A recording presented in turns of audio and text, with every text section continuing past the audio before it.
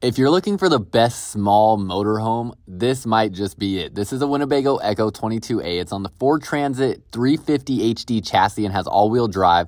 Huge storage compartment along the back, and then it has dual pane windows, a pop top on this model as well. And you have this little cassette toilet setup, which is pretty interesting. This is where all your toilet water will go into, so you could dump that just about anywhere.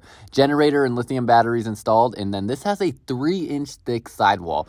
The standard in RVs is two inches thick, so you can feel the quality difference right away just with opening the door.